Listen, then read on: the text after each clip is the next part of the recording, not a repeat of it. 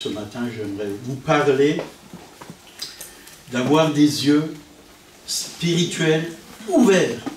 C'est important parce qu'on peut être aveugle spirituellement. On peut voir dans le naturel avec nos yeux physiques, mais Dieu veut qu'on voie beaucoup plus loin que dans le naturel. Il veut qu'on voie ce qui se passe dans le monde spirituel. Donc il y a un monde spirituel, pour ceux qui ne le savent pas, qui existe. Et dans ce monde spirituel, bien sûr, avant tout, il y a Dieu, il y a son trône, il y a l'arc-en-ciel, il y a le Père, il y a le Fils, il y a le Saint-Esprit, il y a les anges. Si vous lisez l'Apocalypse, vous allez voir tout ce qui se passe dans le monde spirituel, dans le monde royaume de Dieu. Les anges qui se prosternent et qui ne cessent de dire Saint, Saint est le Seigneur, la terre est remplie de sa gloire. Et, et tous ceux qui sont en Christ sont là-haut, ils louent le Seigneur, ils adorent le Seigneur. Il y a des myriades d'anges, on ne peut pas les compter. Hein. Ceux qui sont avec nous sont en plus grand nombre que ceux qui sont contre nous. Donc il y a trois, euh, un tiers des anges a été déchu, mais il reste deux tiers. Donc, qui sont là. Et ils ne sont pas que au ciel, ils sont aussi sur la terre. Ils viennent sur la terre. Il y a aussi les démons, donc, un tiers qui est déchu. Il y a aussi les démons, des mauvais esprits, le monde spirituel. Hein, parfois, vous avez une mauvaise pensée, mais elle vient d'où cette mauvaise pensée? On peut se poser une question. Hein. Moi, j'avais une mauvaise pensée dans ma vieille vie, avant de connaître le Seigneur me disait, euh, si tu veux être heureux, tu as un couteau dans la poche, tu le prends et tu te coupes les veines. ça, ça vient vraiment du malin. Et cette voix était tellement forte, tu as tout essayé, mais tu n'es pas vraiment heureux. La religion, ça t'a pas sauvé, tu n'as rien trouvé. Dieu est tellement loin, il ne s'occupe pas de toi. Et heureusement que le Seigneur envoyé une jeune fille pour me parler de lui. Au même moment où j'ai lu ses pensées, c'était comme un ange qui est venu, mais c'était une jeune fille, et qui m'a parlé de Jésus. Et là, j'ai eu une paix. Elle m'a laissé un tract. Elle m'a dit Jésus t'aime et il veut te sauver. Alors, je l'ai regardé, j'ai dit c'est bien possible. Hein. D'abord, je lui ai dit je, je crois au diable pour lui faire peur et pour voir si sa foi était forte et sincère. Elle est restée calme et joyeuse. Elle m'a laissé un traité. Quand j'ai lu ce traité, ben, le Saint-Esprit est venu sur moi. Et Dieu m'a sauvé. C'est pour ça que je suis là ce matin. Donc il y a deux royaumes. Hein. Le royaume de Dieu, mais il y a aussi le royaume des ténèbres. Et la Bible en parle. Elle en parle. Un Jean chapitre 5, verset 19, nous savons que nous sommes de Dieu et que le monde entier est au pouvoir du malin. Le monde entier est au pouvoir du malin. Bien sûr, si nous, nous sommes de Dieu, nous n'avons pas l'ennemi qui règne sur nous. C'est Jésus le roi. Nous sommes dans son royaume. C'est Jésus qui règne sur nous, en nous. Et il faut lui laisser, bien sûr, toute la place pour qu'il puisse régner. Jésus est roi. Et on veut vraiment lui laisser toute la place. Romains 12, verset 2. Ne vous conformez pas au monde présent, mais soyez transformés par le renouvellement de votre intelligence, afin que vous discernez quelle est la volonté de Dieu, ce qui est bon, agréable et parfait. Donc, nous devons vraiment chercher chaque jour la face de Dieu en lisant sa parole et en priant, afin que notre mentalité puisse être transformée par la parole de Dieu, que nous puissions penser comme Dieu pense, que nous puissions voir les choses comme Dieu les voit, puissions parler comme Dieu parle, agir comme Dieu agit. On a besoin du renouvellement de l'intelligence, afin que vous discerniez, quelle est la volonté de Dieu. Ce qui est bon, agréable et parfait. Qu'est-ce qui est bon, agréable et parfait? On l'a chanté avant. Hein. On est né pour le louer, l'adorer, obéir à, sa voix, le servir, faire les œuvres qu'il a préparées pour nous. Voilà pourquoi on est né. Ça, c'est bon. Ça, c'est agréable. Ça, c'est parfait. Mais imaginez-vous un peu, si vous lisez plus la parole de Dieu et que vous, la laissez comme ça dans un coin, il va y avoir déjà de la poussière dessus. Hein. Et deuxièmement, vos pensées vont commencer à... Vous regardez la télé chaque jour, vous écoutez euh, la radio, vous allez penser comme les gens pensent dans ce monde. Vous vous conformez à ce monde présent, et Dieu ne veut pas ça. Parce que les ténèbres vont commencer à vous influencer. Et vous qui êtes nés de nouveau, qui êtes chrétiens, vous, vous allez retomber dans votre schéma d'avant, de votre vieille vie. Alors que la Bible dit hein, que ceux qui sont en Jésus-Christ sont de nouvelles créations. Les choses anciennes sont passées, toutes choses sont devenues nouvelles. On ne peut plus vivre avec de vieilles pensées qu'on avait avant. Toutes ces vieilles pensées, il faut les laisser. Jésus a payé. Il faut les laisser devant le trône, devant, devant le sacrifice de Jésus, parce qu'il a payé, pour qu'on soit renouvelé dans nos pensées. Qu'on ait une vie nouvelle, des pensées nouvelles, un langage nouveau. C'est pourquoi parfois j'entends certains qui se disent chrétiens, qui parlent comme ceux du monde. Ils ont des gros mots dans la bouche, ils ont euh, toutes sortes de paroles qui ne glorifient pas Dieu ça prouve que leur mentalité n'a pas changé, leur pensée n'a pas changé. Et voilà, on ne peut plus vivre comme avant, on ne peut plus s'habiller comme avant si on, est de nouveau. Moi, je m'habillais euh, un peu n'importe comment. Hein.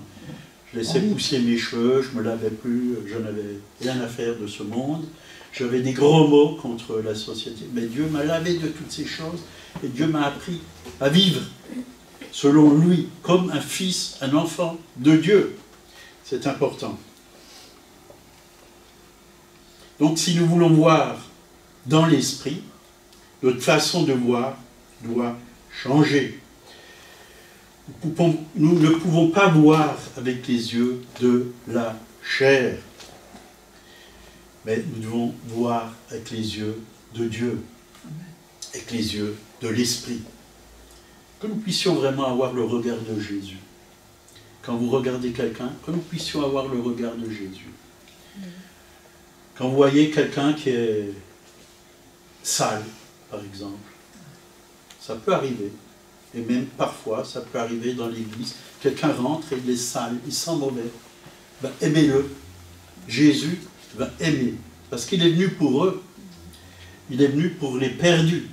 Il est venu pour ceux qui n'ont plus d'espérance, qui se laissent aller parce qu'ils sont dégoûtés de la vie. Ayons le regard de Jésus.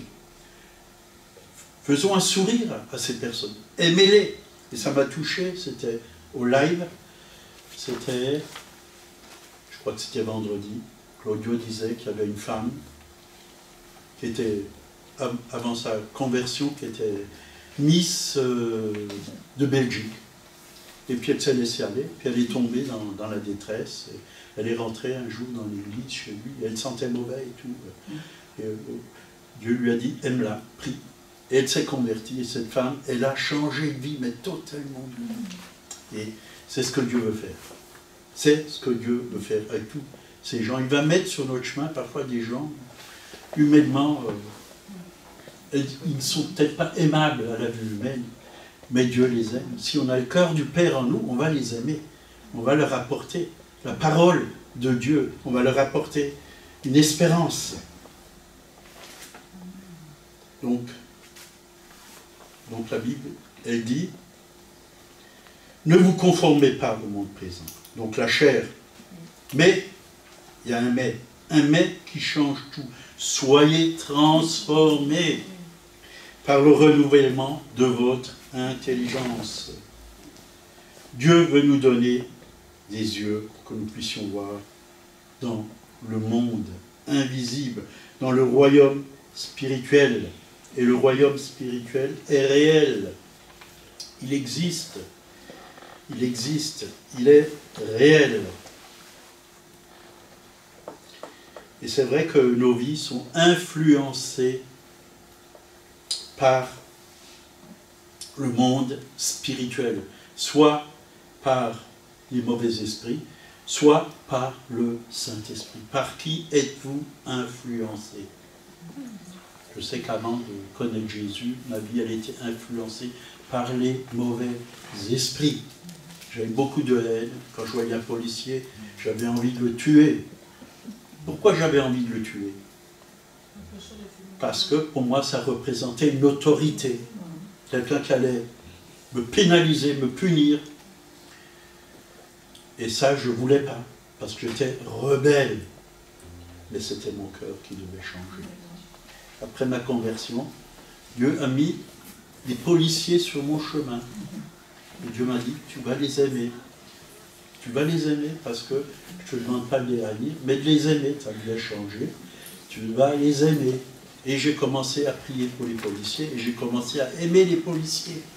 Quand je voyais un patron, je disais, ben, les patrons, c'est des voleurs, ils profitent des ouvriers. Et voilà, ça c'était une image j'avais au fond de moi-même. Mais qui a mis ces images en moi? C'était le malin. Il faut qu'il y ait des patrons pour pouvoir embaucher quelqu'un qui n'a pas de travail. Moi-même, j'étais patron. Voilà. Un jour, j'ai entendu quelqu'un qui m'a dit Tous les patrons sont cons. Alors j'ai dit bah, Tu travailles chez qui? Chez un patron Il m'a dit Oui. Bah, alors sois heureux parce que tu as un travail et tu as un salaire. Il n'est pas aussi con que ça. bénissez vos patrons. Aimez vos patrons. Priez pour vos patrons. Priez pour les autorités. La Bible le dit aussi, priez pour les autorités.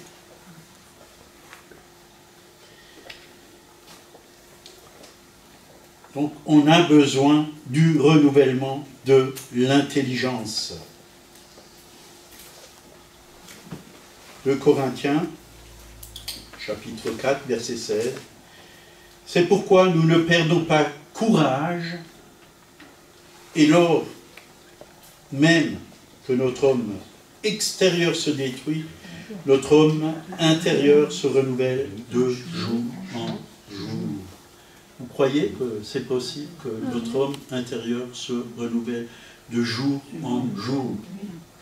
Vous savez qu'en ce moment, il se passe des choses assez extraordinaires. Hein. Quand la gloire de Dieu descend, euh, je connais un serviteur de Dieu qui était déjà dans notre église, hein, deux ou trois fois, et il vit vraiment des miracles assez extraordinaires.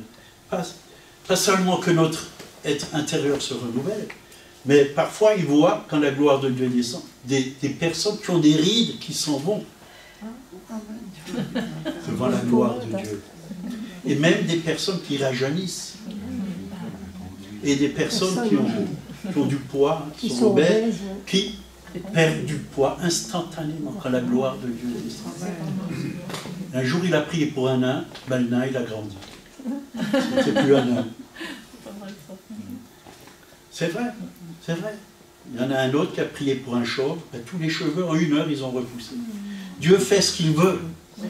Humainement, c'est pas logique à croire ces choses. Mais quand la gloire de Dieu descend, il se passe des choses extraordinaires. Et moi, je sais que quand je m'approche de Dieu, plus je m'approche de Dieu, plus j'ai l'impression d'avoir 20 ans, même si je suis gris. Je rajeunis dans sa présence. Je suis renouvelé dans sa présence. Et chacun d'entre vous, vous pouvez être renouvelé dans la présence de Dieu. Il te rajeunira comme l'aigle, dit la parole de Dieu. Comme l'aigle. Et c'est vrai que parfois on est un peu fatigué. Combien de fois, quand je travaillais, même dur, parce que vous savez, quand vous avez une entreprise, c'est pas 8 heures par jour, c'est 12, 13 heures, parfois plus.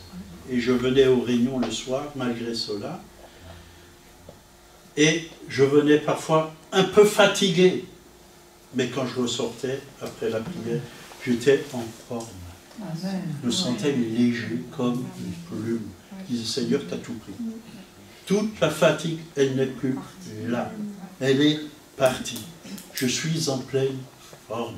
Je pourrais refaire une réunion. C'est vrai qu'avec Dieu, il se passe des choses extraordinaires. Donc nous avons besoin que Dieu ouvre nos yeux pour que nous puissions voir.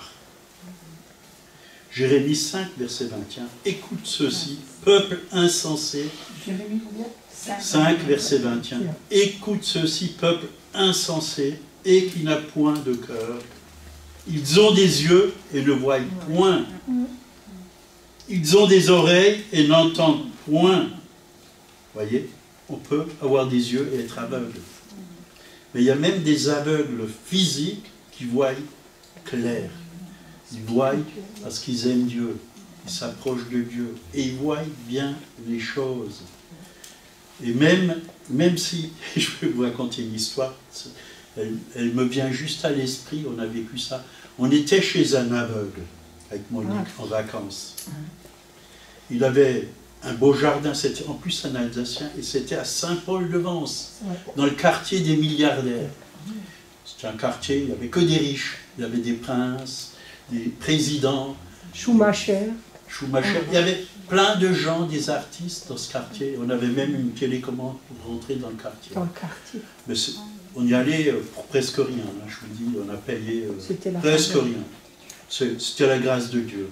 Et cet aveugle, il avait une super maison avec piscine, tout ça. Puis par des amis, on a pu aller là-bas parce qu'il avait un appartement en bas. Et il avait un jardin. Un jardin. Et il m'a dit, euh, tu peux venir m'aider à enlever les mauvaises herbes. J'ai dit, oui, je peux, je veux, bien. Je suis allé. Puis j'arrache euh, certaines herbes. Puis lui, euh, il fait, tiens, là, il y avait un géranium. Un petit géranium parce qu'il sentait. Ah tu l'as arraché Je dis, ah moi je ne savais pas que c'était un géranium. Mais il voyait tout. Hein. Et tout était aligné. Les carottes étaient alignées, les haricots. Il faisait ça très bien. Pourtant, il était aveugle. Et quand il venait à la piscine, il avait sa baguette, il tournait autour de la piscine, il, il, longeait la canne comme ça, la piscine, et à midi, il venait toujours vers la même heure pour boire l'apéro chez nous. et on lui parlait de Jésus et tout, c'était formidable. Et sa femme, c'était une ancienne prostituée, là. Et je lui ai donné mon livre, je lui ai parlé du... Elle était touchée, elle était vraiment touchée. Elle était touchée. Deux Rois, verset 6, euh, chapitre 6 plutôt. 2 Rois, chapitre 6, versets 15 à 17. 2 Rois, chapitre 6, versets 15 à 17. L'assistant de l'homme de Dieu se leva de bonne heure et sortit. Et voici qu'une troupe entourait la ville avec des chevaux et des chars. Le jeune serviteur dit à l'homme de Dieu, Ah mon Seigneur, comment ferons-nous? Voyez, devant les difficultés, on peut être comme cet homme et dire, Seigneur, comment on va faire? Comment on va faire? Comment on va s'en sortir? J'ai tellement de problèmes financiers, comment je vais m'en sortir? Ça me fait peur. Ça me fait peur. On peut être comme ça. J'ai tellement euh, de problèmes dans mon corps, de maladies, je ne sais pas comment je vais m'en sortir. Comment ferons-nous? Il répondit, n'aie pas peur. Donc, qu'importe les problèmes, n'ayez pas peur. N'ayez pas peur. N'ayez pas peur. Je vais vous dire, j'avais une maison, enfin je l'ai toujours, et un jour, un client ne nous a pas payé. C'était une grosse somme. Très grosse. Au moins 50 50 000 euros, hein, on peut dire, à peu près. Et là, celle qui nous devait l'argent a fait, a fait faillite. Et ils lui ont tout pris. Elle avait plusieurs maisons, plusieurs appartements. Et on ne pouvait pas payer, il fallait payer nos ouvriers, il fallait payer le matériel qu'on a mis dans sa maison, les travaux qu'on a fait. Il fallait payer les charges, il fallait tout payer. hein. Vous savez, euh, l'État ne vous fait pas de cadeaux. Cadeau, hein. Et le, le- le banquier, il, est, nous, a, nous a fait venir à la banque et ils nous, a- ils nous ont dit comment vous allez faire? Alors je lui ai dit laissez-moi trois jours, je vais vous donner une réponse dans trois jours. Et il fait bah, si ça ne va pas, hein, vous avez une maison à payer, on va vendre votre maison. Et Monique, elle était Mal à l'aise, angoissée. Et moi, je riais, je riais. Je disais, mais t'inquiète donc pas. Dieu a, Dieu a la solution. Et au bout de trois jours, la solution est venue. La solution est venue. Je suis allé chez le banquier et Dieu m'a donné une vision. J'ai vu les mains de Dieu défaire un nœud. Et on a restructuré l'entreprise et tout est rentré dans l'ordre. Tout est rentré Et on a dans l'ordre hypothéqué la maison. Et hypothéquer la, La maison. maison. Et on a pu payer notre maison. On a réussi. Grâce à Dieu. Ouais, on peut dire. Grâce à Dieu. Parce que sans Dieu, on n'aurait pas pu réussir. Une autre fois, il nous fallait deux, euh, 2000 euros. 2000 euros. Je vous raconte ces histoires, je parle un peu d'argent, mais ne ne vous inquiétez pas. C'est juste pour vous montrer comment Dieu peut faire euh, les choses. Quoi. Et il fallait que je paye 2000 euros à l'État. C'était pour euh, des charges. Des charges. Et j'ai dit Seigneur, on les a pas. C'est tout juste. Puis on a prié, et dans la même semaine, j'ai proclamé la victoire sur les finances, j'ai lié les esprits euh, qui retiennent l'argent, et surtout les, les esprits de la franc-maçonnerie. Et quelqu'un m'a appelé, j'ai parlé avec cette personne, elle m'a dit, écoute, si tu as besoin de quoi que ce soit, je suis là. Hein. Tu as besoin combien? J'ai dit 2000 euros. Et il m'a fait tout de suite un virement. Il a dit Tu peux les garder, c'est pour vous, c'est un cadeau. Demi-franc, c'était. C'était un cadeau. Et, voyez, Dieu a toutes les solutions dans sa main. Mais il faut rester, comme on vient de dire, répondit N'aie pas peur devant toutes ces, situations. Il ne faut pas avoir peur. Si on a peur, on s'enfonce. On coule. N'aie pas peur, car ceux qui sont avec nous sont en plus grand nombre que ceux qui sont avec eux. Les anges peuvent chercher les solutions et vous les emmener. Les anges peuvent chercher l'argent et toucher des gens pour que ces personnes vous donnent l'argent dont vous avez besoin.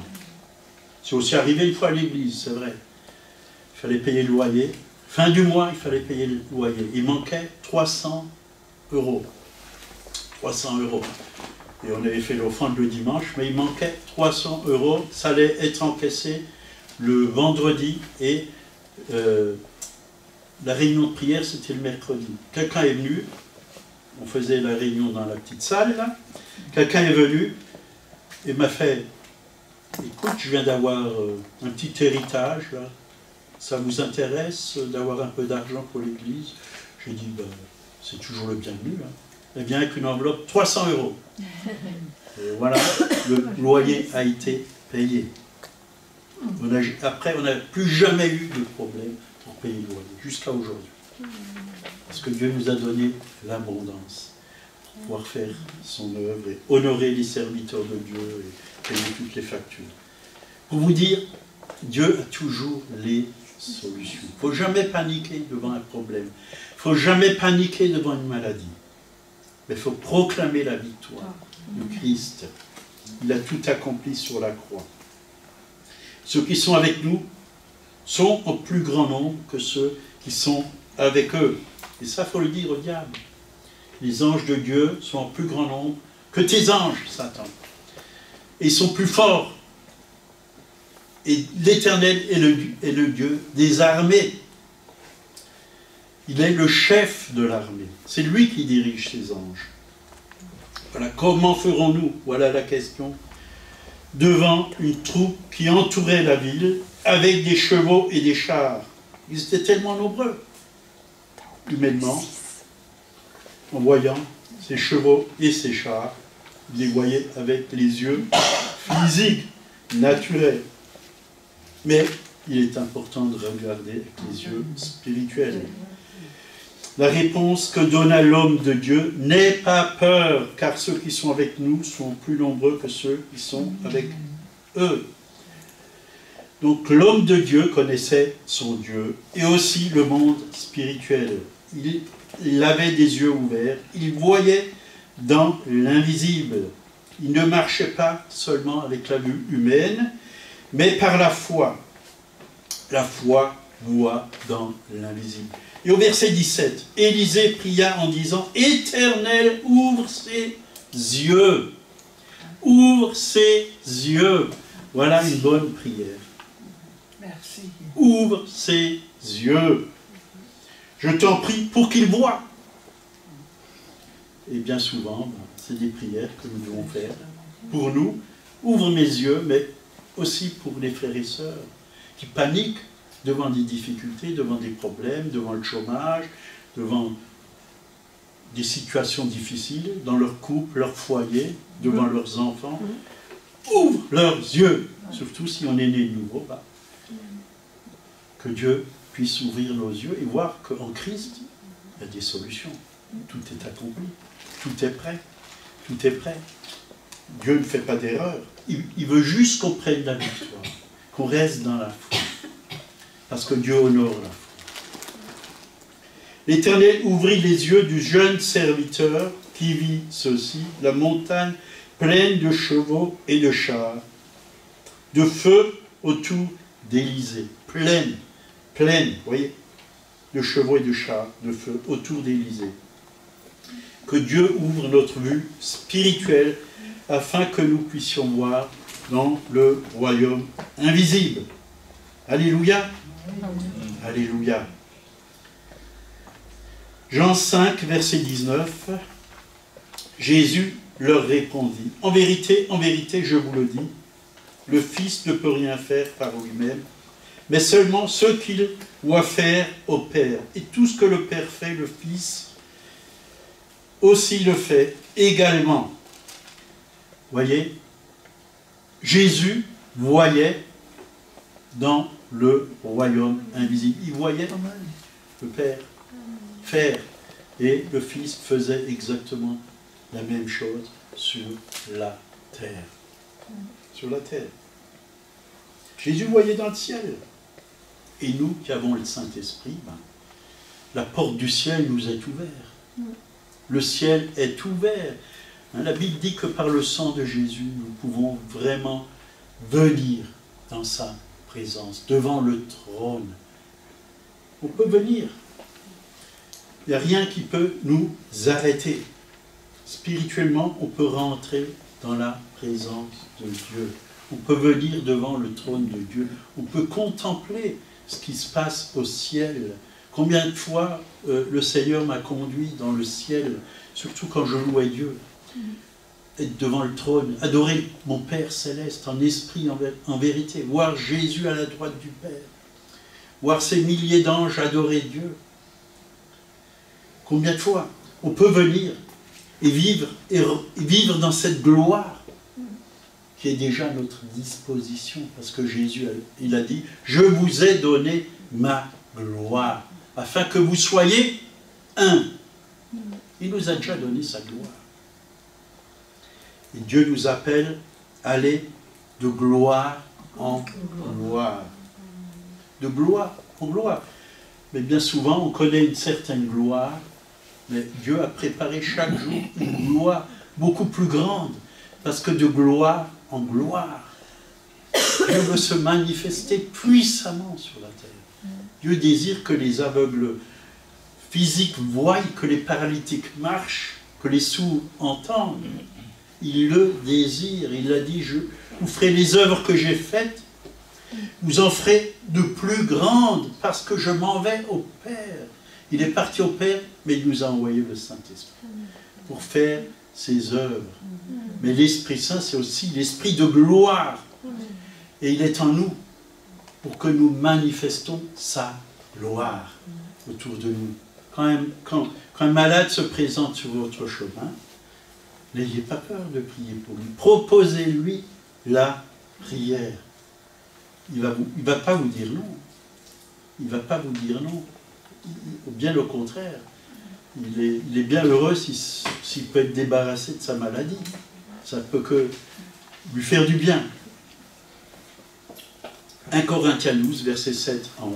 Aura chacun la manifestation de l'Esprit est donnée pour l'utilité commune. En effet, à l'un est donné par l'Esprit une parole de sagesse, à un autre une parole de connaissance, selon le même esprit, un autre la foi par le même esprit, un autre le don des guérisons par le même esprit, un autre le don d'opérer des miracles, un autre la prophétie, un autre le discernement des esprits, un autre la, diversité des langues, un autre l'interprétation des, des langues, un autre un Seul et même esprit opère toutes ces choses, les distribuant à chacun en particulier comme il veut. Voyez, là, je m'arrête sur le discernement des esprits. On aimerait tous avoir le don des guérisons, des miracles prophétiques, la parole prophétique. Parole de... C'est beau, mais le discernement des esprits, c'est un don qui est très important. Très important et on en parle très peu dans les assemblées, dans les églises. Que Dieu puisse nous donner de discerner quel esprit est sur certaines personnes. Parfois, c'est vrai, je rencontre des gens, puis en, quelques secondes, Dieu me montre vraiment quel esprit il a cette personne, quel esprit est à l'œuvre dans sa vie, dans son cœur. Rien que à la façon de s'habiller ou de parler, je peux le voir très très très vite, je peux le voir. Dieu me le montre. Quel est son problème? Quel est son problème? Par contre, si je vois quelqu'un rempli du Saint-Esprit, je le vois aussi. Je discerne que c'est un homme, une femme qui est rempli de l'Esprit. Par exemple, si une femme qui est remplie du Saint-Esprit, qui rentre dans ce lieu, ou un homme de Dieu qui rentre dans ce lieu, qui est rempli du Saint-Esprit, il, va emmener une atmosphère céleste, il va emmener une paix, une joie, un amour. Et même l'atmosphère, s'il est rempli, rempli, va, va, changer. S'il est rempli de la gloire de Dieu, l'atmosphère va être changée. L'atmosphère change parce que, on l'a chanté, quand il descend. Si on est dans sa présence, ben Dieu, il descend. Il descend. Il descend dans vos demeures si vous restez dans sa présence. Il descend dans votre maison. Le ciel descend dans votre maison. Que ta volonté soit faite sur la terre comme au ciel. Alors, si on veut que la volonté de Dieu soit faite comme elle est faite au ciel, il faut déjà savoir ce qui se passe au ciel. Il faut savoir ce qui se passe au ciel. Sinon, Jésus n'aurait pas dit euh, cette prière. Est-ce qu'au ciel, il y a des voleurs? Non. Non. Ce n'est pas la volonté de Dieu que vous fassiez voler sur la terre. J'ai déjà vu des chrétiens qui se sont fait voler sur la terre. Ils ont tenté. Ils ont tenté. Euh, enfin, le diable les a tentés et ils se sont fait voler. J'ai connu un chrétien. Il a dit euh, Moi, je peux tout te donner. Hein, euh, même ma montre, si tu veux. Il y avait une personne qui dit Ah oui, elle est belle ta montre, j'aimerais bien. Ben tiens, je te la donne. Il s'est fait voler la montre. Parce qu'il n'a pas discerné que mais le gars, il s'en foutait, donc il ne voulait rien ah savoir. La montre, il s'en foutait pas, il la voulait. Et ainsi de suite. C'est pas parce qu'il a écrit euh, si on te demande ta chemise, donne encore ton, manteau. Hein. Il faut quand même avoir du discernement. C'est important d'avoir du discernement. Quel est l'intérêt de la Personne? Si quelqu'un n'a pas de chemise, moi je veux bien lui donner une chemise, parce qu'elle en a besoin. Si quelqu'un n'a pas de manteau, je veux bien lui donner un manteau. Mais s'il a une montre et il en veut une plus belle, ben non. Mais non. Une Rolex. Une Rolex. C'est déjà. Pas 1 Jean 4, verset 1, bien aimé, ne vous fiez pas à tout esprit, voyez. Ne vous fiez pas à tout esprit. Il y aura beaucoup de profiteurs dans les derniers temps. Des gens pris par des esprits, et ils viendront même dans les églises. Mais éprouvez les esprits pour savoir s'ils sont de Dieu. Car plusieurs faux prophètes sont venus dans le monde. Reconnaissez à ceci l'Esprit de Dieu, tout esprit qui confesse Jésus-Christ, venu en chair est de Dieu, et tout esprit qui ne confesse pas Jésus n'est pas de Dieu, est celui de l'Antichrist, dont vous avez appris qu'il vient et qui est maintenant déjà dans le monde. Et Jésus-Christ hein, nous prévient aussi dans Matthieu 7, verset 15, Gardez-vous des faux prophètes, ils viennent à vous comme des brebis, mais au-dedans, ce sont des loups ravisseurs. Vous les reconnaîtrez à leurs fruits. Donc, le discernement des esprits est très important. Vous savez, moi j'ai déjà vu des gens venir dans ce lieu juste pour chercher des, personnes comme ça, pour les, emmener dans leur groupe, pour les enlever de l'église. Et ils ont dévié. Ils ont dévié. Ils sont partis, oui, ils ont cru que voilà, c'était la volonté de Dieu. Ils ont un esprit de séduction. Ils vont, venir vous dire c'est pas votre place ici. Votre place est là. là. On, en a vu. des gens qui ont mal tourné. Complètement mal tourné. Donc, nous devons avoir le discernement. Demander au Seigneur le discernement des esprits. Quel esprit est à l'œuvre Est-ce que c'est l'esprit de Dieu ou c'est un esprit qui veut me manipuler? Un esprit de Jézabel, par exemple.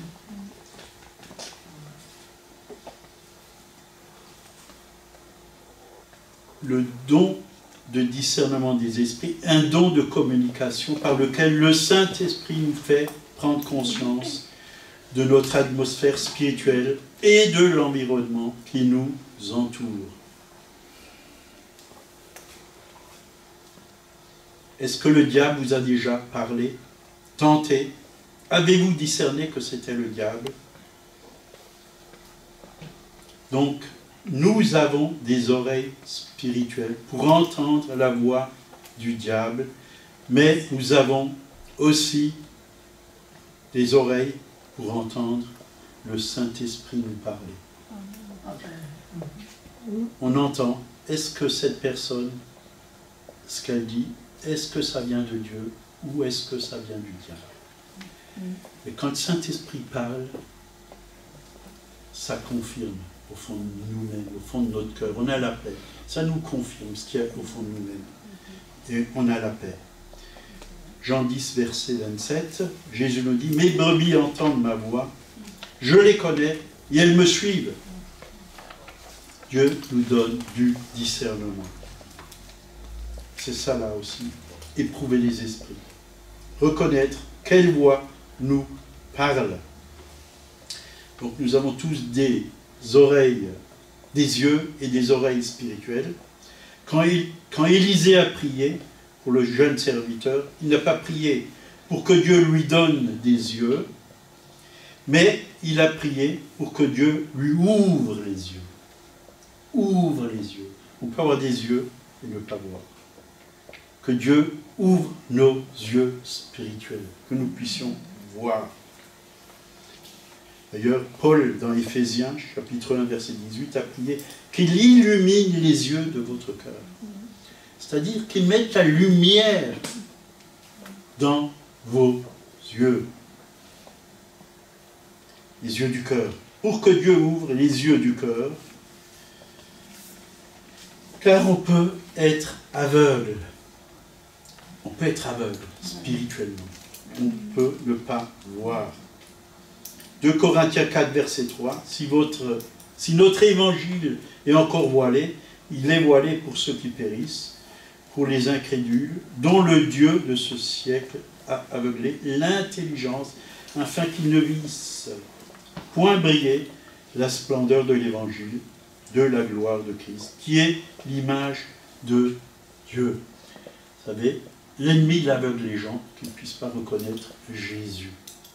Et avant d'aller témoigner à quelqu'un, il est important de dire Seigneur, touche-le, ouvre ses yeux, éclaire-le, que les écailles qu'il y a sur ses yeux puissent tomber, qu'il puisse voir que tu es le Sauveur, que ce n'est pas sa religion qui est la vérité, mais c'est Jésus, qui est le chemin, la vérité et la vie. Parce que vous allez entendre, ah, mais toutes les religions sont bonnes, tous les chemins mènent à, Rome. Hein. Non, non, non, non, c'est faux.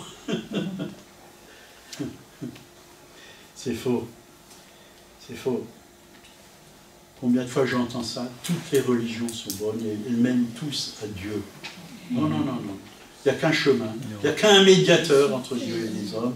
Jésus-Christ, homme. Lui, le juste.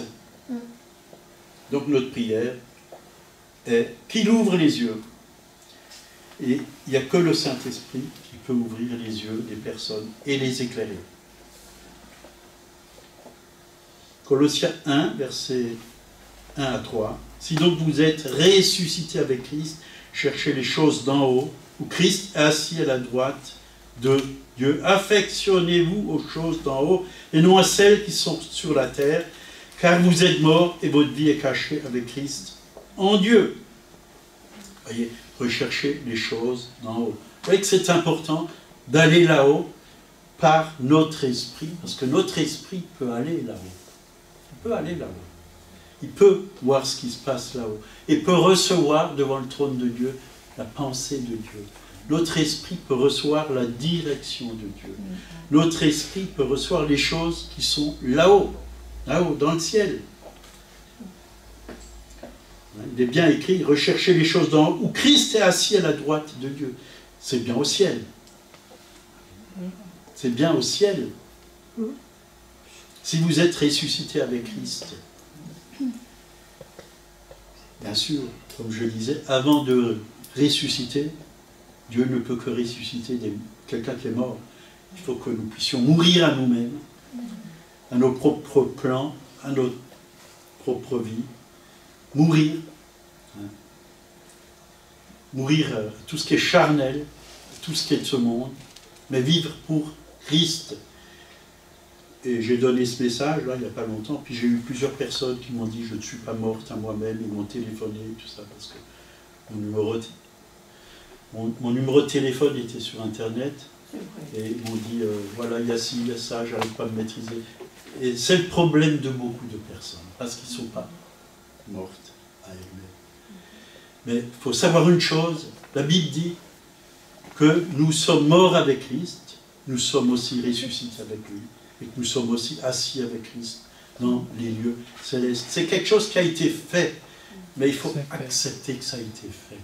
Regardez-vous comme mort au péché et comme vivant en Dieu. Donc, c'est quelque chose qui a déjà été accompli. Accompli. Et un jour, je me suis mis vraiment euh, devant Dieu et j'ai dit Seigneur, quand tu es mort à la croix, je suis mort avec toi. Quand tu es ressuscité, ben, je suis ressuscité avec toi. Et je me suis vu, mort avec Christ. Donc c'est quelque chose qui est fait. Donc, j'ai une vie nouvelle. J'ai la vie de résurrection. Puisque Dieu m'a ressuscité. Spirituellement, Dieu m'a ressuscité. J'ai la vie du Christ ressuscité en moi. Donc je dois me voir pas comme un mort, mais comme quelqu'un de vivant. Mort au péché, mort à ce monde, mais vivant pour Christ. Donc rechercher les choses d'en haut, c'est quoi La communion avec le Père et avec le Fils Jésus-Christ, mais aussi la communion avec le Saint-Esprit. Et tous les biens célestes qui se trouvent dans la parole de Dieu quand on lit la parole de Dieu, Dieu ouvre notre esprit, notre intelligence. Elle nous est révélée. Et quand la parole de Dieu nous est révélée, c'est la meilleure école biblique, croyez-moi. Parfois, on est bourré par des, toutes sortes d'enseignements. Mais moi, je vais vous dire, où j'ai appris plus, c'est chez moi à la maison. devant le Seigneur en lisant la, la parole de Dieu, en demandant au Saint-Esprit d'ouvrir les Écritures, en demandant au Saint-Esprit de m'enseigner. Ça, c'est les meilleures écoles, parce que quand Dieu te donne, ça reste en toi.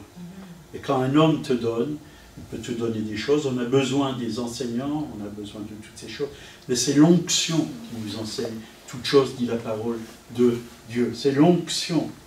Sans l'onction, il n'y a rien. Donc, les trésors du ciel que Dieu veut nous donner. Affectionnez-vous aux choses d'en haut. Bien souvent, on est très affectionné aux choses d'en bas. Mais on va tout perdre. Un jour, on n'emmènera rien. Ta Rolex, tu vas la laisser ici-bas. Ta belle voiture, hein.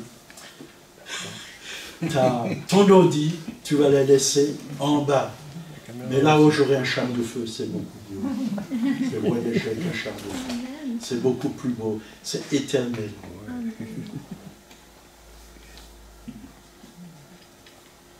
Alors, nous devons nous attacher à Dieu, pas à toutes ces choses. Bien sûr que Dieu nous donne toutes choses ici-bas pour qu'on puisse être, puisse être des témoins, qu'on puisse vivre. On a besoin de vivre. Il veut tout nous donner. Mais ce n'est pas ces choses que nous devons nous attacher. Car vous êtes morts et votre vie est cachée avec Christ en Dieu.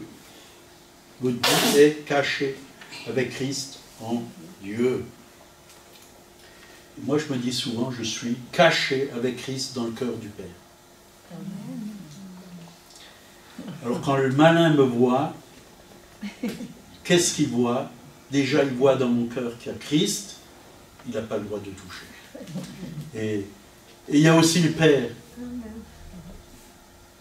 Parce que Jésus est sorti du cœur du Père, mais il est reparti à la droite du Père. Il est maintenant dans le cœur du Père. Il intercède dans le cœur du Père pour chacun d'entre nous. Il intercède pour nous. Jérémie 33, verset 3. Invoque-moi et je te répondrai, je t'annoncerai de grandes choses des choses cachées que tu ne connais pas. Vous voyez, il y a plein de choses qu'on ne connaît pas. Et on ne peut que les connaître en invoquant Dieu. On ne peut que les connaître en invoquant Dieu. Notre destinée est dans sa main. Notre destinée est dans son cœur. Écoutez le cœur du Père. Écoutez le cœur de Jésus. Écoutez le Saint-Esprit. Et votre destinée va s'ouvrir devant vous. Vous allez voir clair. Dieu va ouvrir vos yeux. Vous puissiez aller dans la direction de Dieu. Je disais toujours au Seigneur, moi je ne veux pas rester en Alsace. Ma retraite, je vends tout et je vais aller dans le sud. Il fait plus beau, il fait plus chaud. Le Seigneur m'a dit, ta place est ici. J'ai obéi à Dieu. La chair, oui, elle aime le sud, le soleil, la piscine. Mais je suis bien heureux ici.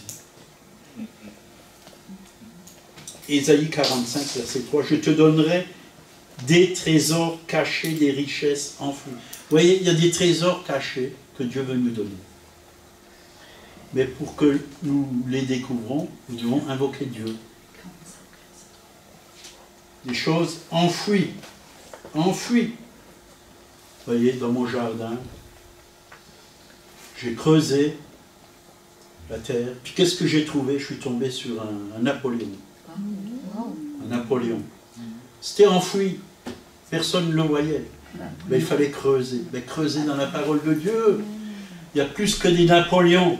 Il y a des pépites d'or. Il y a des trésors. Vous allez les découvrir. C'est fantastique. Moi, quand j'ai une révélation que mon esprit s'ouvre, il y a des choses que je n'avais pas compris. Du coup, je les comprends. Ben, je suis transporté. Je suis heureux. Je suis heureux. Ça vaut plus que de l'or et de l'argent. Parce que c'est des richesses éternelles que Dieu a préparées avant la fondation du monde. Il les, a, il les a préparées pour moi, mais il en a préparé pour vous. Il a, il a quelque chose pour vous. Il a un trésor pour vous. Un trésor qui est caché dans sa parole. Vous allez le découvrir.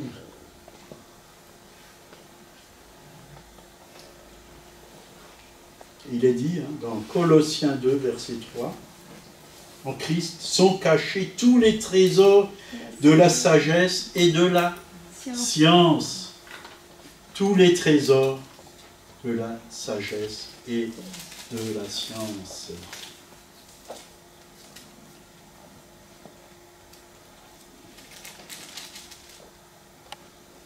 Donc nous n'avons pas à avoir peur. Nous devons tout simplement obéir à la parole de Dieu. Et c'est vrai qu'un frère, Moussa connaît, si quelqu'un le connaît. Tu connais pas Moussa connaît Moi je connais. Il est venu plusieurs fois dans cette assemblée, ici, dans ce lieu. Il nous a dit, c'est un imam, fils d'imam, son père était déjà imam, et, et même... Oui, plusieurs générations. Et il a dit, quand il, évangélisait la Côte d'Ivoire, les musulmans venaient avec des pierres, il les lançait. Mais les pierres tombaient. Mm. C'était les anges. Oui, il y a un monde des anges qui arrêtaient les pierres. Aucun, aucune pierre ne les a touchés. Et les gens se convertissaient parce qu'ils ont vu qu'il y avait quelque chose, qu'il y avait une protection. Il y avait une protection. Donc nous ne devons pas avoir peur. Il y a un monde spirituel. Ceux qui sont avec nous sont en plus grand nombre que ceux qui sont contre nous.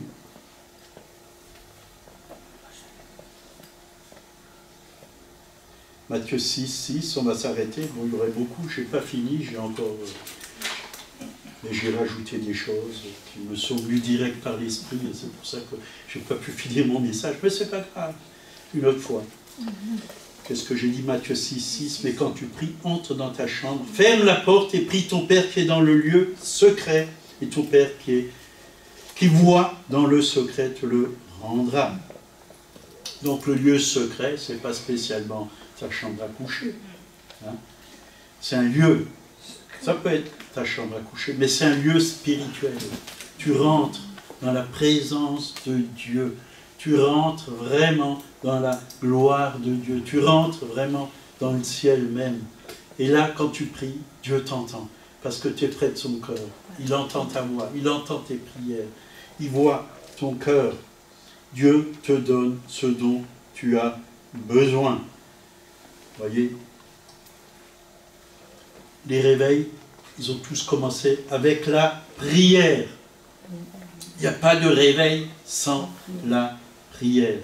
Le secret du réveil, la clé du réveil, c'est la prière. Des hommes, des femmes sont venus et leurs yeux ont commencé à, à pleurer pour les perdus. Ils ont pleuré, pleuré devant Dieu pour que Dieu les sauve. Pour des villes, des villages, des pays. Et là, Dieu a envoyé son esprit de repentance. Et voilà, les réveils sont venus. Les réveils sont venus. Et je crois que ce que l'Église a besoin, parfois elle soit réveillée, mais elle dort parce qu'elle ne prie pas. Elle dort parce qu'elle ne prie pas. Mais quand tu commences à prier, c'est que tu commences à être réveillé. Tu commences à sortir de ton sommeil spirituel, dans l'intercession, dans le combat spirituel, dans la louange, dans l'adoration, dans la prière pour les besoins, parce que c'est Dieu qui met les sujets de prière dans le cœur des hommes. C'est Dieu qui nous appelle à intercéder pour tel et tel endroit, pour telle et telle personne. Réveil au pays de Galles, les gens priaient tellement que des bus passaient et puis le Saint-Esprit tombait sur le bus le, chauffeur devait freiner parce que tout le monde était convaincu de péché. Ah voilà.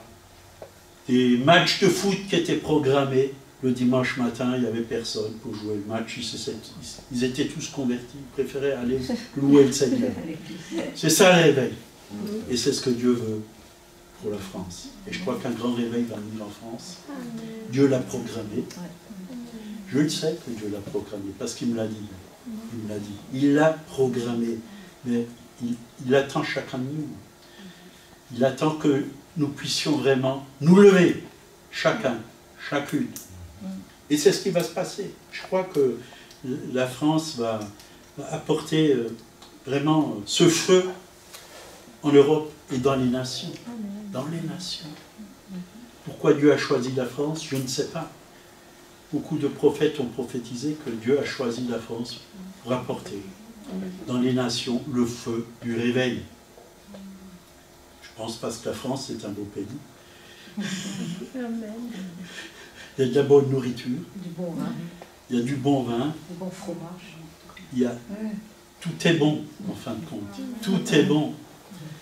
C'est un des pays les plus visités au monde, le plus touristique. C'est un beau pays. C'est le pays où coule le fromage. Mais c'est surtout un pays où les gens sont, sont généreux. Les chrétiens aiment Dieu, aiment Dieu. Et Dieu a déjà utilisé euh, les chrétiens pour bénir le monde, comme les Huguenots. Et il veut recommencer. Il veut recommencer à l'utiliser. Les Français, moi je suis italien, hein, Dieu n'est pas raciste, heureusement. Il va aussi m'utiliser. Voilà, on va, on va finir par la prière. Je vous invite à vous lever, là où vous êtes. Ceux qui désirent que leurs yeux s'ouvrent, levez-vous. Si vous ne le désirez pas, asseyez-vous. Vous avez le droit. Dieu ne force personne. Si vous êtes malade, vous ne pouvez pas vous lever, c'est pas grave. Dieu le sait. Dieu vous aime. On va prier que Dieu ouvre nos yeux spirituels, que nous puissions reconnaître le ministère du Saint-Esprit, le ministère des anges, que nous puissions aussi reconnaître Jésus, Jésus le roi des rois, Amen. qui vit en nous, qui habite en nous, que celui qui est en nous est plus grand que celui qui est dans le monde. Si tu veux être un soldat, lève-toi, lève-toi. Si tu veux être un intercesseur, si tu veux être utilisé pour le réveil, le dernier réveil, lève-toi. Où tu es, on va demander que Dieu Oui, Amen. renouvelle chacun et chacune, que Dieu puisse vraiment nous utiliser. Père céleste, je te prie pour ton Église, pas seulement celle qui est ici, là, dans ce lieu, mais celle qui est partout dans ce pays, Seigneur, en France et les îles aussi. Oui, la francophonie, Seigneur. Lève, Amen. lève ton peuple, Seigneur. Lève ton armée. Lève tes soldats, Seigneur. Parce que nous sommes peut-être l'armée qui est sur la terre, mais toi, toi tu ne nous laisses pas seulement avec cette armée qui est sur la terre, mais toi, tu as l'armée céleste, les anges, ton armée, Seigneur. Tu es le chef de l'armée. Tu es chef de l'armée céleste, mais aussi le chef de l'armée terrestre, dont nous sommes sur cette terre pour combattre Oui, Pas- contre la chair et le sang, mais combattre avec les armes, toutes les armes de Dieu. Combattre le bon combat de la foi, Seigneur. Nous voulons être ces soldats de Jésus-Christ, Seigneur. Nous voulons gagner ce pays, Amen. Amen. mètre par mètre, centimètre par centimètre, kilomètre par kilomètre. Nous voulons gagner ce pays par la prière, par le combat spirituel. Seigneur. Nous voulons nous lever comme un seul homme. Et nous savons que nous ne sommes pas seuls. Ceux qui sont avec nous sont en plus grand nombre que ceux qui sont contre nous. Merci Saint-Esprit de venir maintenant nous visiter, Seigneur. De la tête aux pieds, Seigneur. Remplis-nous pleinement, Seigneur. Communique-nous, oui, ce que tu désires, que nous faisons pour ta gloire, Seigneur. Nous ne voulons pas le faire de nous-mêmes, mais nous, nous voulons faire parce que c'est toi qui le fais au travers de nous, Seigneur. Tu fais et tu opères au travers de nous, Seigneur. Que les malades soient guéris, Seigneur. Que les perdus soient sauvés, Seigneur. Que, que, que les âmes soient transformées, Seigneur. Qu'il y ait des vies transformées, changées. Nous voulons voir des, des baptêmes d'eau, des baptêmes du Saint-Esprit, des conversions, Seigneur. Nous voulons voir comme toi tu vois, Seigneur. Nous te prions pour cette ville, cette région où, où tu nous as placés. Seigneur que ton esprit agisse, que le Saint-Esprit puisse convaincre de péché, de justice, de jugement. Seigneur, merci, parce que tu as tout accompli à la croix. Merci de nous utiliser pour ta gloire, au nom de Jésus. Amen. Amen. Amen. Vous pouvez vous, vous rasseoir, vous pouvez aussi rester debout.